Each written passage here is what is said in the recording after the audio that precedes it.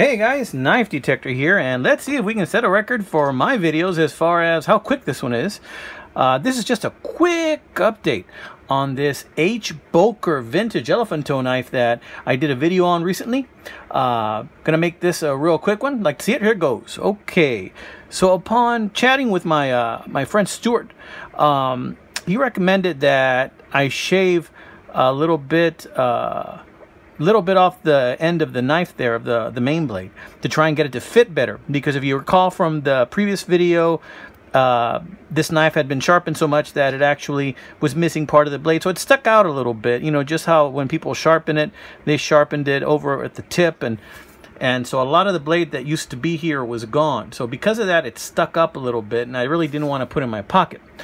So we talked and, uh, or we commented back and forth in emails and uh, Stuart recommended that I kind of do a vertical uh, a vertical shave right here and kind of like uh, re uh, reconstitute that blade right there and uh, kind of like uh, with a grinder or he didn't specify what to use but I normally use a grinder.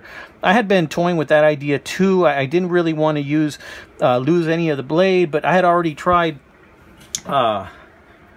polishing the, the kick right here and trying to take a little bit of that. So I did that and uh, really had no effect on this particular occasion. So I decided, you know what, let me just go ahead and try uh, what Stuart recommended and let me show you the results here. So let's lower this one first.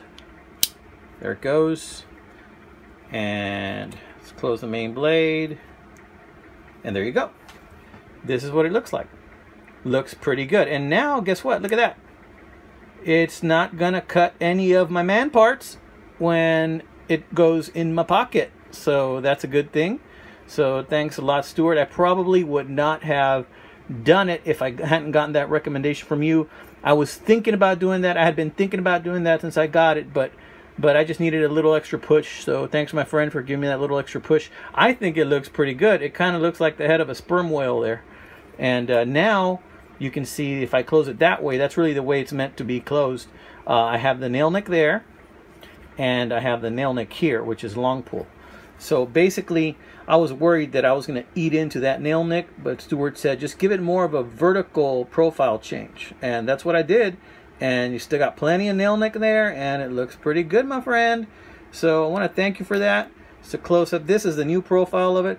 It does kind of look like a bit of a sperm whale, but that's okay. This is, after all, Sunfish knife. And uh, no change on that one. So, just wanted to say uh, thanks a lot, my friend, for that advice. And uh, glad that that I got you and you can give me that advice. Appreciate that. And now I'm really going to enjoy carrying this bad boy in my pocket because I'm not going to fear that I'm going to end up cutting something important. All right, guys, that's it. Just a quickie. Y'all take care. God bless. Keep your knives sharp. Keep your wits even sharper.